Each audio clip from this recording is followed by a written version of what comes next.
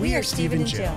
Together, we've been buying and reselling land since the 90s. Our data centric approach leaves our buyers asking, How can you sell it so cheap?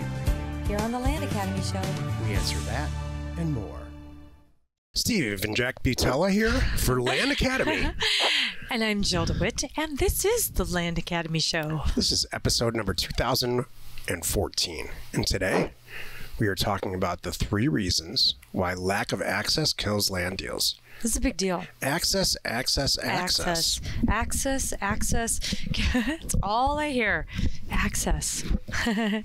what I'm trying to remember, where does that fall in the well, it's definitely one of the first four A's. So if you have been following us for any amount of time, you know we do our due diligence and we have a checklist of we call them the A's, right? There used to be four, then there were six, now there are eight. And someone lovingly um, today and on one of our member webinars said, I see it going to be 10 soon, Sure. probably. So, but it's a checklist of things that we go through to make sure we're making good buying decisions, part of our due diligence process. And access has always been on the list. So, we're going to talk a lot about that today. This is not new. Access has uh, been an issue since there's been land. Mm-hmm. Great piece of land can't get to it. Mm-hmm. Great piece of land. Uh, who owns it? Can't build a road. Yep. You So- know, maybe I can get to it, but I can't put the road in. Since there have been people wondering about Mm-hmm. land, this has been an issue. So we'll cover it today. Yep.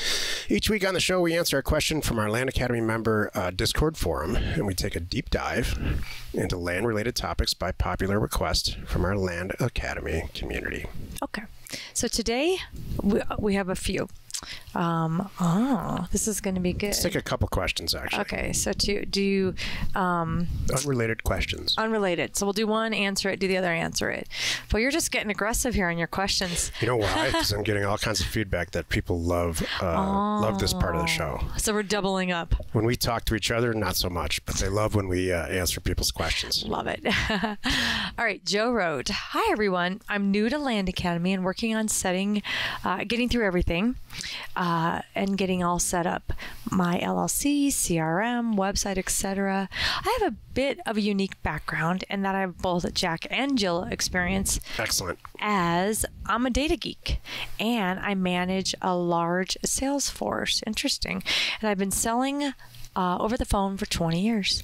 I'm working through my data set and getting ready to send my first mailer, but I'm looking to partner with some people who are interested in funding deals because a lot of my capital is not currently liquid. If you're interested in partnering on some deals, I'd love to hear from you and get an understanding of what types of deals you look for in terms of size, type, location, etc., so I can focus my mailer on land that would meet that criteria. Please DM me and let's schedule a time to chat. I look forward to connecting. I have a lot to say. Oh, Do you? I'm like, I'm trying to think. I'm like, you know what I have to say? I'll, I'll get mine out of the way. Let her rip, Joe, and just call me if you need money. Next. So that's the, the the outer shell of exactly what I was going to say. So if there's a, if you've been in business before, especially, but not just necessarily that. If you're the type of person who wants everything lined up, and uh, you you spend time researching, I, I'm one of these people, and I want to get all my stuff lined up, ready to go, and then I'm going to send it out. That's not the most effective way here. Uh, if you find a great real estate deal, people will find you somehow. It's like they can read your mind. I'm serious. If you have a knack for locating undervalued stuff, I don't care what it is, especially if it's real estate, though, people will come out of the woodwork to, to try to uh, do the deal with you Right. or buy it from you or be involved somehow. Yeah. So your goal here, as I've said this many times, is to become to develop and become amazing at one single thing locating and securing undervalued real estate that's your one professional job from here on out if you do that everything else will fall in place every single thing especially uh, and it'll do that that will happen very quickly if you're involved with land academy directly you know what, Joe? Too, who cares about what you think they want? They want. Look, the right, the right investor, they don't care where it comes from. They just care that it's a good deal. And if and the right investor too, they're going to want to learn about another area. Like, oh, we haven't ventured into fill in the blank state before. Like we we talked to um, dear Sid today. He's like, I'm venturing. We're just now hitting our fifth state. You know, I don't even know how many states we're in. I don't care. So the deals that come to me for deal funding, by the way, I don't flip and care where they are. If I don't know that state very well, I'm gonna do my own homework and or or in addition to, I'm gonna bring in somebody I know that does know that state well and get their opinion on it too, just before I sign off. It's hard to, you know, if I go to Jill and say, Hey, I've been in the uh, um, professional fill in the blank for a lot of years. I just joined Land Academy, and uh, when I get a good deal, what should I do? Or what kind of deal do you want? Or any of those questions, and she's going to say, "Well, you should bring me some undervalued real estate." Do you know? do you know what? Do you know what really my? You know what, Joe? You know what my bottom line is? Here's my bottom line, Jill. What kind of deal do you want to do? I I want to do a deal where you and I split the profit and we're each walking away with no less than 20 grand. Yep. That's what I want to do. And I don't want to do any work. I want you to do all the work. So I don't care where it is, what's going on. I just want to make sure 20 grand each, then it's worth your time and it's worth my time other than that, let her have fun. it's the same, you know. There, there's a disconnect, not a dis. And we're not picking on anybody here because no. everybody's got the same questions. You know, some people are, are bold enough to ask them. Some people just listen. And so I appreciate, uh, really seriously appreciate, you know, Joe asking this question for, on behalf of everyone.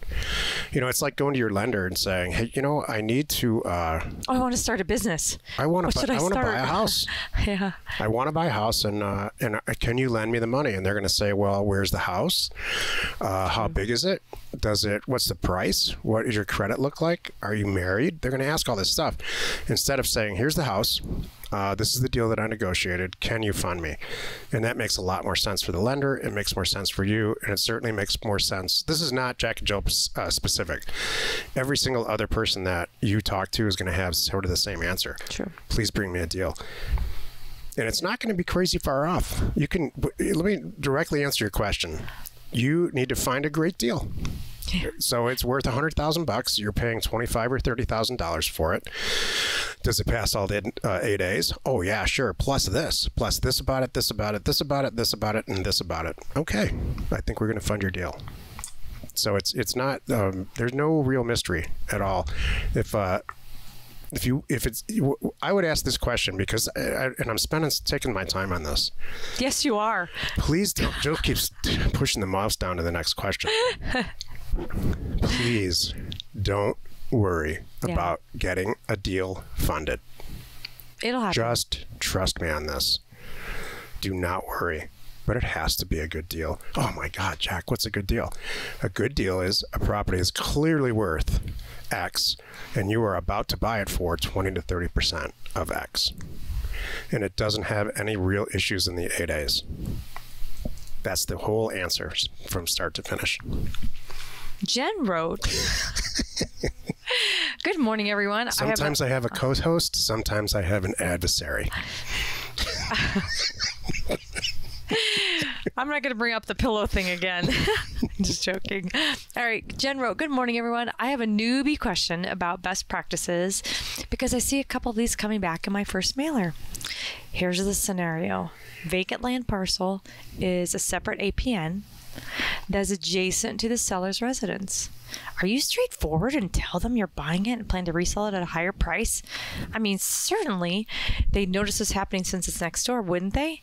How is this negotiated? How does it work? This is great. Yeah, I don't come out and tell them, like, here's the gist. This is a great, and it happens all the time, and you're doing everything right, and don't sweat it. They're only carrying a, you know, honestly, Jen, honestly, sorry, I'm using, I'm overusing that word. Jack has reminded me. So if you see me catch my, or hear me catch myself, that's why. Jen, don't sweat it they only care that they're about to get 10 grand or 15 grand or 25 grand for that stupid lot next door that they've been staring at, never built upon, never used it, long ago farmed, nobody cares about it. They need the dough. They don't need an explanation from you about your whole business model, what's going on. Slash, however, should they ask, I'm upfront and honest about it. Like, you know, this is my business. I buy and resell land, and, and then I steer them right back. I don't give them a long speech like Jack did on the last question. I was waiting for that. There's some catch. You can hear it in the back of her voice. Like, they're just going to fall on me Here somehow. comes. Just steer them right back. This is my business. I'm the owner. Whatever deal we work out, that's what's going to be on your check. Back back to that. Did you does my 10 grand work for you? If not, you know, what number makes sense to you and why? Was there am I missing something?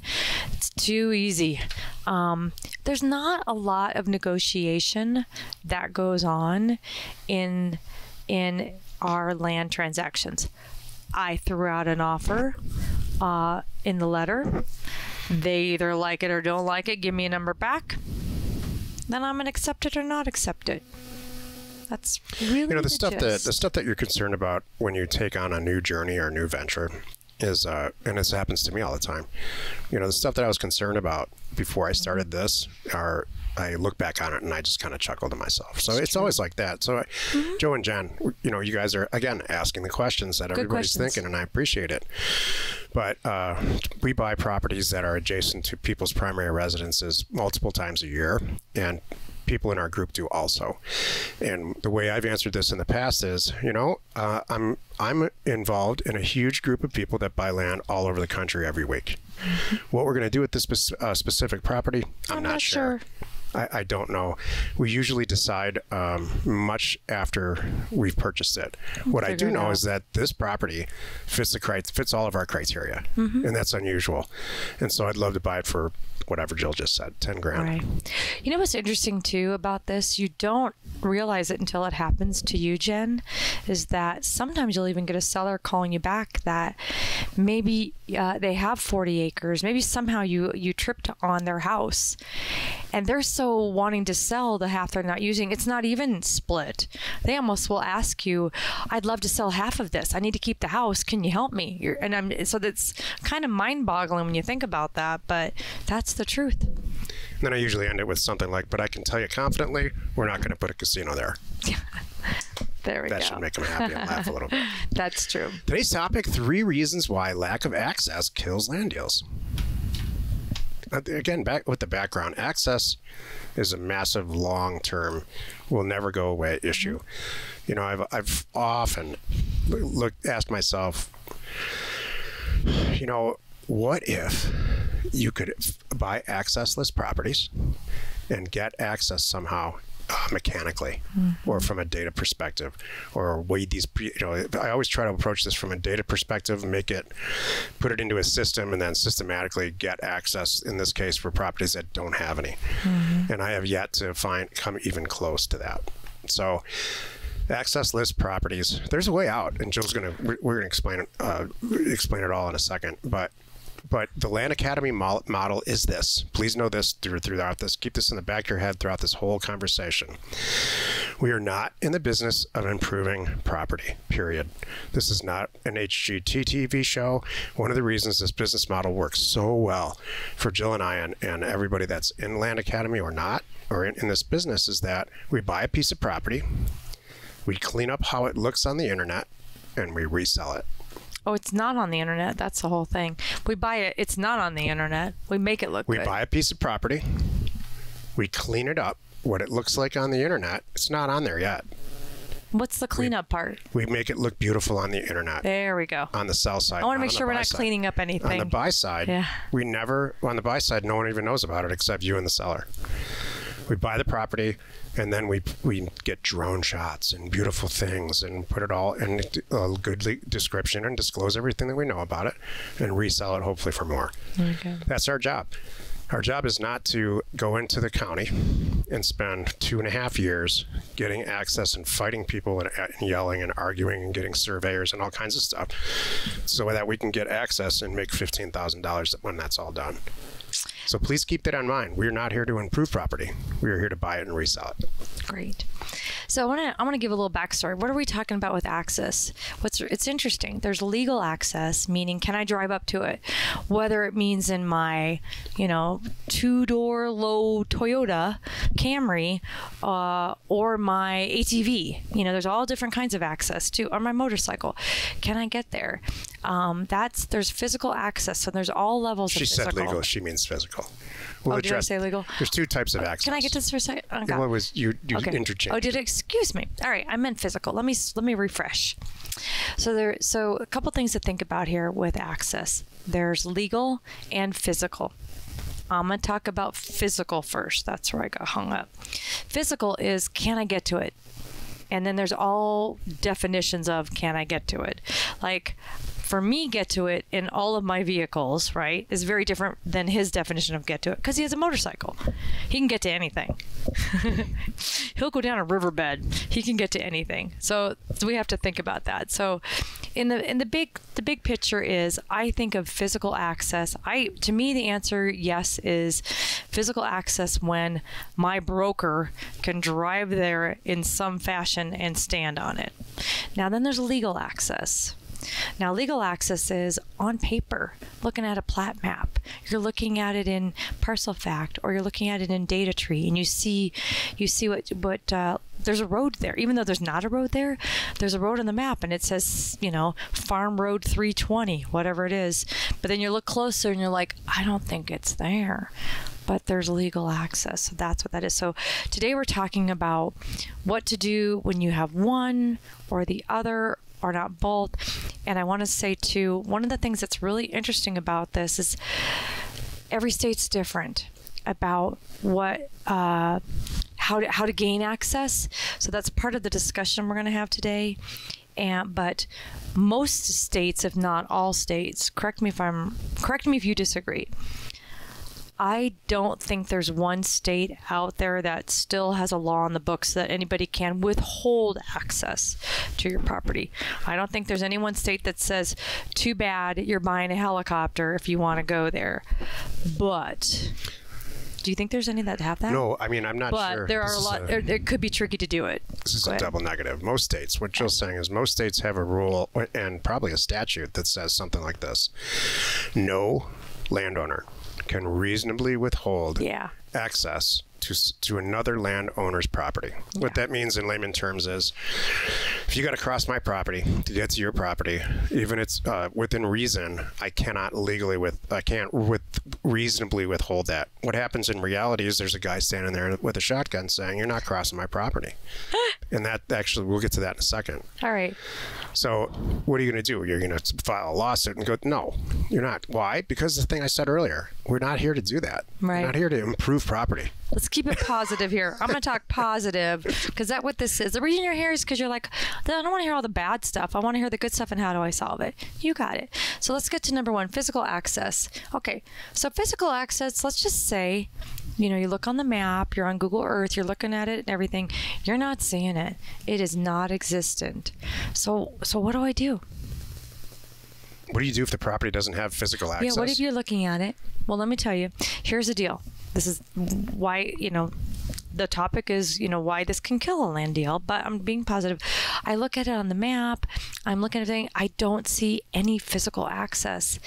Uh, what, what would you suggest I do? Well, the first thing I would do is make sure the numbers work on the deal.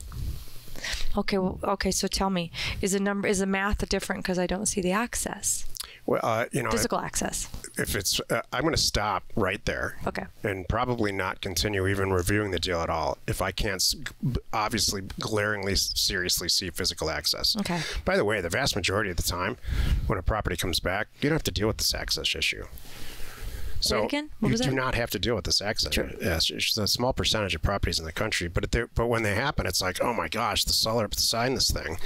It's for five thousand dollars, and and if I can, you know, it's probably worth eight, eighty, ninety, hundred thousand dollars, but I need to confirm that it's got access. So what Jill said, you're looking it up on Google Earth, and it doesn't have access. The vast majority of the time, I will confirm that somehow, either with the county, I'll pull a plat map, or I'll ask the seller, "Have you ever? When's the last time you were there?" Yeah. And if I have to, because it's a smoking deal, I will probably, uh, in this day and age, ask Jill, and Jill will ask her staff to contact uh, the sellers that are around it and say, you know, What can we do? can we get to this property now? Is there, has somebody been getting to this property over the last several years that you've lived there? Right. And dig, just build, do some research and dig around and see. I can't see it on Google Earth. I can't see all the from my desk resources. I cannot see any way to get to this property physically. Then confirm that. Right. You know what's interesting is we've had this situation. You do need to ask questions. Ask the seller, ask the county, you know, and and find out. We have had properties where the tree cover was so thick you can't Yeah. see the road. It's very So that's the thing that I think what we're both trying to say is confirm it. confirm. confirm it and then you start looking into the next step so um, you know physical access is obviously important uh, and then when jack said about the math there have been times in the past that we have picked up great properties very inexpensively, kind of because we knew the area. So you have to think about this. If they can't get to it, how can they use it, right? So if there's some use there, maybe it is a great. We've had literally rock climbing cliffs, and we sold them as a rock climbing cliff. We didn't go into it like that, you know, but the price was so inexpensive, we had to buy it. And then we turned around and properly conveyed it, and guess what? It all worked out. Yeah. So you know, you have to just think about it and know and know what's possible. Like that's I think that's the main point today. And what Jack's saying too is, at the end of the day, um, you're not here to go to court and do all this stuff and file paperwork and do all that. I mean, people, some people do that. If you want to make that your niche, go for it. You could have all the properties I'm passing on. I'm not doing Yeah. that work. What I'll do, That's for sure. I will. Um, yeah, I'm not your competition. Um, what I will do though is find out if a neighbor does, and then I find out what the process is.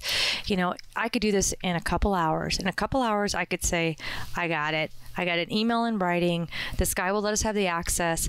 I talked to the county. I know it takes about 90 days and three grand. That's what I need to know. Now I can move forward, and then I will pass that on to the next person should they want to pursue that. A lot of it's dependent on the deal too, on the actual piece of property. So visualize this: you've got a piece of property in Upper Peninsula, Michigan. There's nothing around it. It's very inexpensive, and you know for whatever reason, because you have some kind of inside information that it can be used for duck hunting or something that mm-hmm. everybody wants. And so, to get to this duck hunting property that you're going to try to resell, you have to cross two or three other people's properties that have never, there's nothing there. Mm-hmm. So, do you think it's likely that you're going to be able to park and cross two other people's property and without any incident and then go sh- uh, duck hunting on your own property? I think it's very likely that you can probably get away with that for years and years in duck season after duck season. So, having physical access only really matters when you're reselling to somebody that's going to use it for fill in the blank to build on to uh, develop to you know uh, whatever. So you have to make sure every deal we I've bought tons of accessless property in my in my time. Not a single uh, time have we uh, had trouble reselling it. So just take a look at it. And geez, if you're in Land Academy, please ask other people because we've all been dealing with this our entire careers. So it's going to take me 15 seconds and Jill too to look at a property and say, yeah, it doesn't have access. But if you're getting it cheap enough, it's probably going to be okay. Exactly. Let's move on to legal. What's interesting about legal, and we are kind of interchanging the two. That was interesting. We are kind of interchanging the two because I want both. At the end of the day, you want legal and physical, especially if you're new and you're just starting out. I want you to have legal and physical access so you don't even have to think about it. There's no worries about it. It's easy to buy, it's easy to sell.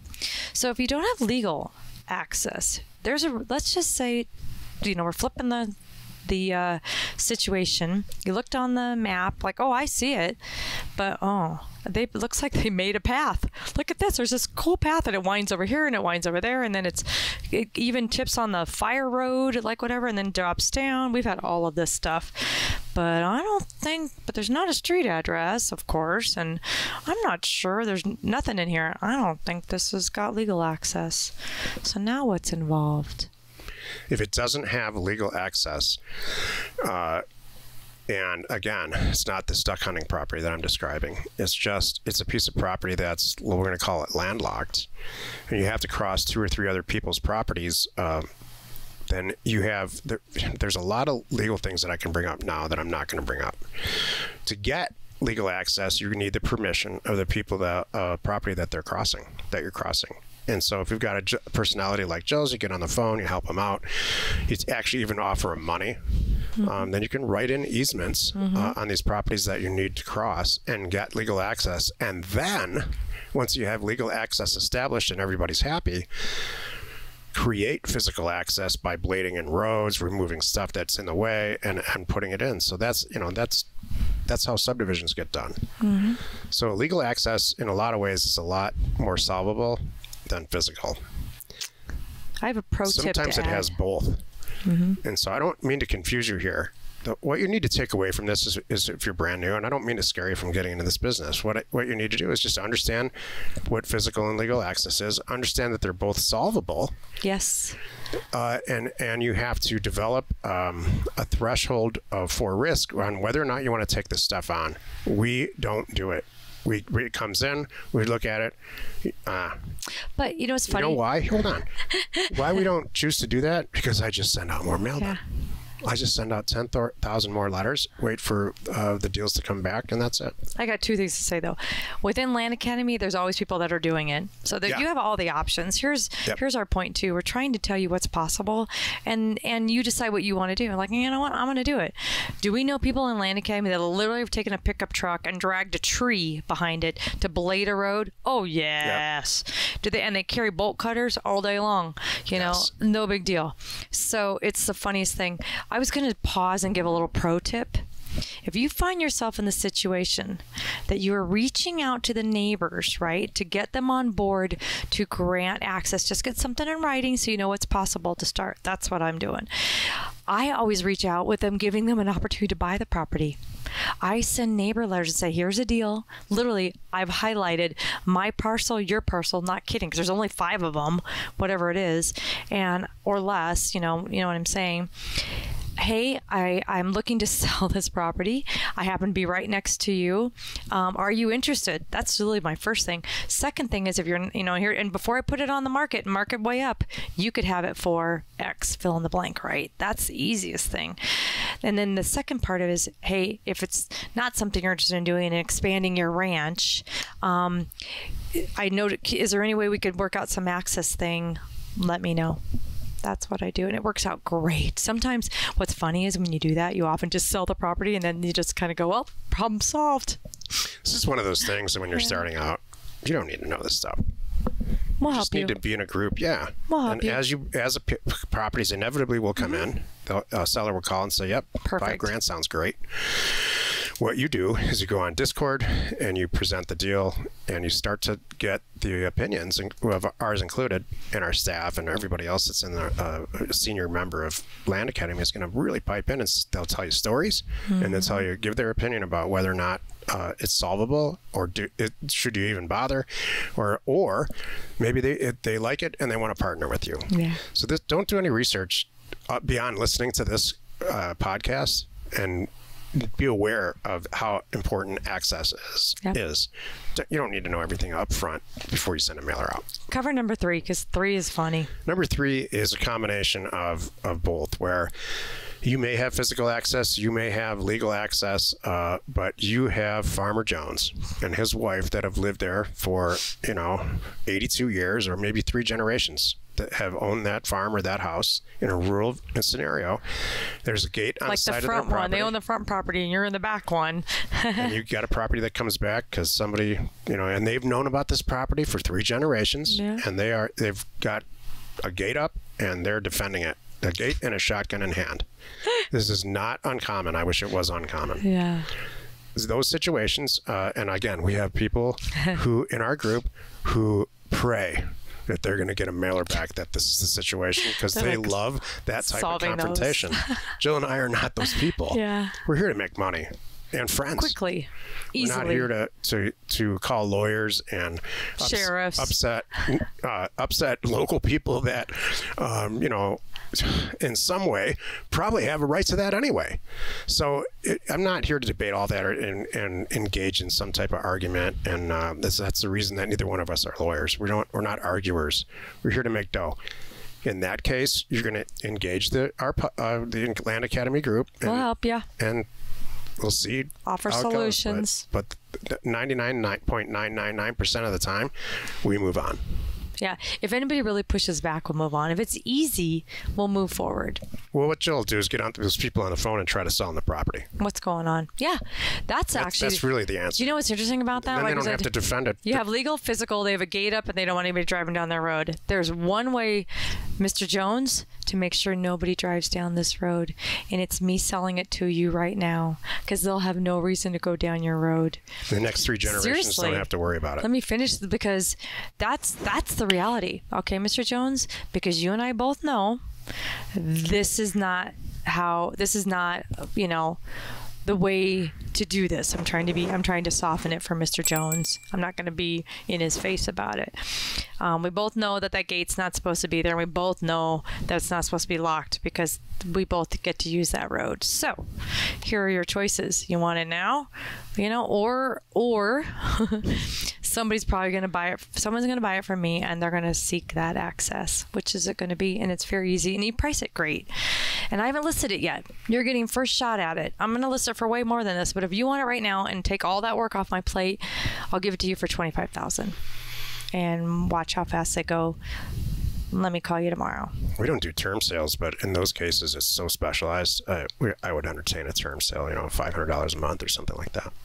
So those are great, So yeah, again, all these options. great situations to be in. Yeah. that's the beautiful thing about here. We're telling you about, we're telling you what to be aware of. We're telling you what everything means, and we're offering you solutions and telling you if you need more solutions, we'll be here. That's beautiful. Thank you. Jill, you have something inspirational to share today, besides all the other inspiring you just did. Oh gosh. you know, I was th- thinking about. Um, I was, I was.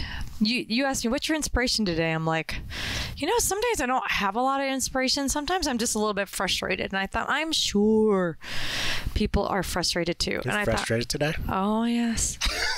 I can't wait to hear this. but I'm I'm channeling my personal frustration into a very common frustration and tell you how to get out of it. Have you ever been frustrated because you and your seller cannot agree on a price? That happens.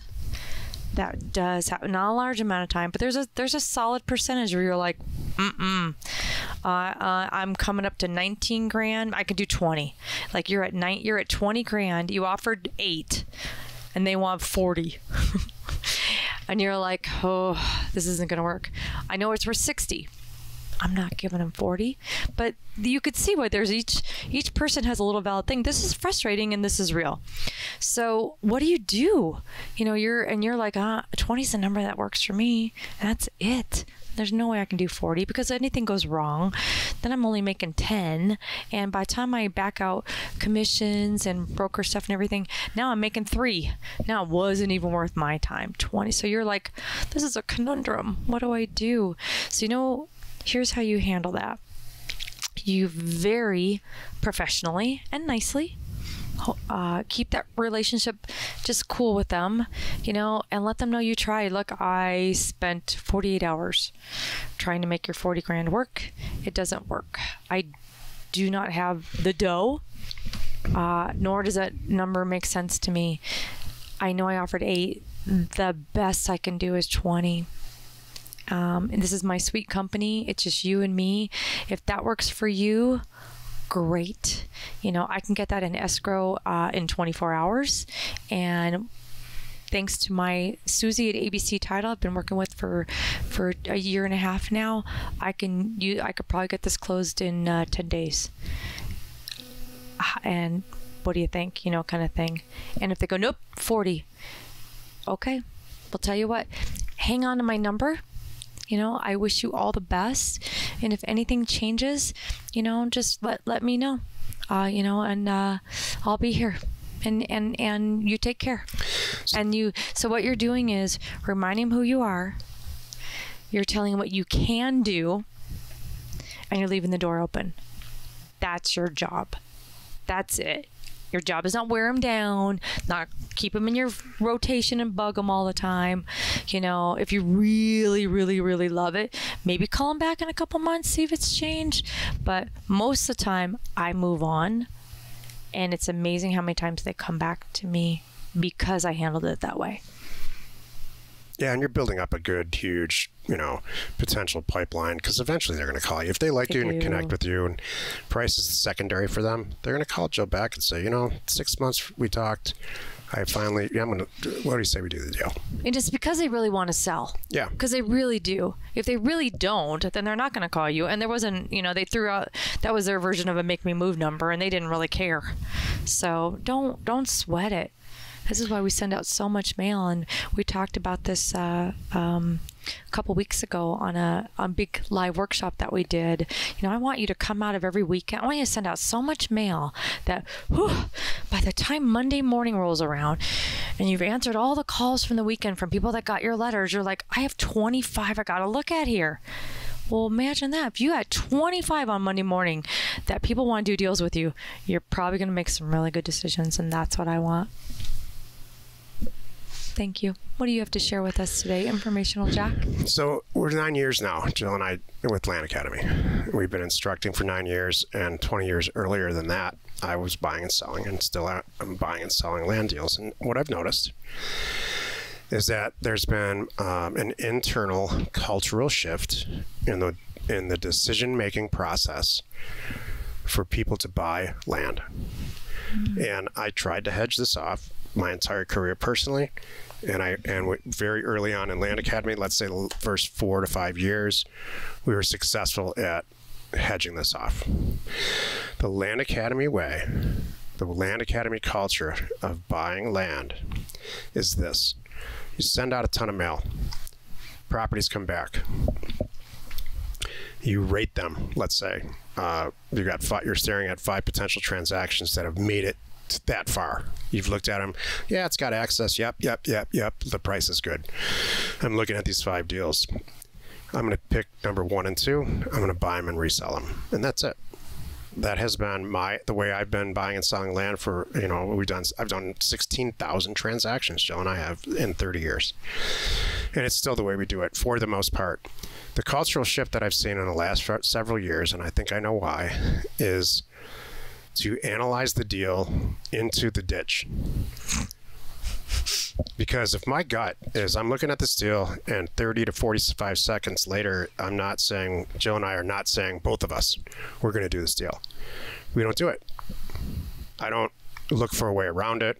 I don't call the seller back 14 times to change the price. I don't uh, wish upon a star that I can get the deal the way that I want it. All of those things are a result of not having enough deals in the pipeline, having an obsessive compulsive personality, uh, and a whole list of things that are going to stop you in the in the end from being really successful at this. There's a cultural shift in due diligence, and it's not good. It's uh, I think that there are other areas, the most other areas in your life that is so appropriate. You want to do that. You want to do due diligence. You want to uh, date date a girl for a long time. Then you want to live with her. Then you should talk about getting married or whatever else. Long, big, long due diligence period. Before you go buy a car, research the heck out of it. Spend months researching it, finding the dealer, getting along with the dealer if you're buying a new car or a used car, same thing. Find the right car. Make sure your mechanic looks at it, all of that. Super appropriate that's not appropriate in in the land situation. You know, we have more people now, uh, and I know this because uh, we're fortunate enough, Jill and I, to host that Thursday call. We, we record this right before the Thursday call every week, actually. And so we go into the Thursday call, and more and more and more there, and I appreciate the thoroughness, I really do, and and I, appreciate the uh, the, the true. Just enthusiasm on the part of the people that are on those on the Thursday calls are and and asking whether or not would you do this deal? Should I do this deal? And so what I would what I would do if I was flip side and I submitted a, transaction to somebody like Jill and I, I, I would say, here's why I'm going to do the deal. Do you see anything wrong with it? Not should I do this deal? I don't know if I should do this deal. I think it's okay. There's a little bit of water over here, and I'm not sure. And I'm gonna I'm gonna have to think about this for three weeks. I'm gonna have to call people, and you know, actually, I'm gonna go look at it. I'm gonna go make sure it's okay. That's not. Uh, you want to go in and either do the deal or not. It's so glaringly obvious that you're going to make fifty to sixty thousand bucks or whatever your threshold is on this, and everything goes wrong. You only make ten or twenty. That's why we're here. That's how you make some serious, serious money in this. So that cultural shift, you know, I can only fight it so much. Thank you. Do you agree? Yeah, I was just gonna explain real quick. The Thursday call he's referring to is we every Thursday we have a closed member call within all Land Academy and House Academy members. And I'll use this moment to say it. If you want a one-time invite, just to like, oh, I want to be on this call one time. I want to see what's going on in there, and these deals and all this stuff you're talking about, and access and everything. Just send my team a note. Support at landacademy.com, and they'll get you in. I just thought of the ninth A. I'll What's- talk about it next week. Uh oh. Join us next Wednesday for another interesting episode. You are not alone in your real estate ambition. We are Jack and Jill. Information And inspiration. to buy undervalued property. We hope you find our content valuable and we appreciate your support. If you have not already, please check out our channel and hit the subscribe button. And your comments and suggestions help us uh, to create the content you're here for. Hitting the like button helps to support our channel's algorithm and gauge your interest for future shows.